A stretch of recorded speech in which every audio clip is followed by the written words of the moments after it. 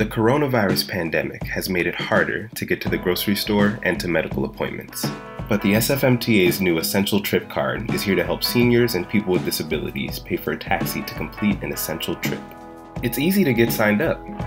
If you are 65 or older, or are a person with a disability, you can apply for the Essential Trip Card by calling 311 and mentioning the program.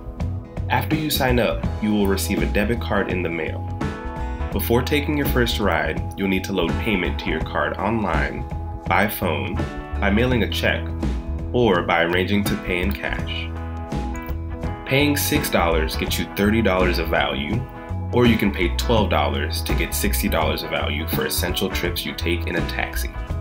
To hail a taxi, you can call by phone, use the Flywheel app, or just flag a taxi on the street.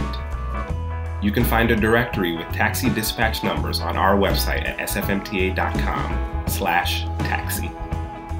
Taxi drivers are required to wear face masks or face coverings, clean frequently touched surfaces in their vehicles between trips to limit risk to both riders and drivers, and have been provided a CDC approved sanitizer.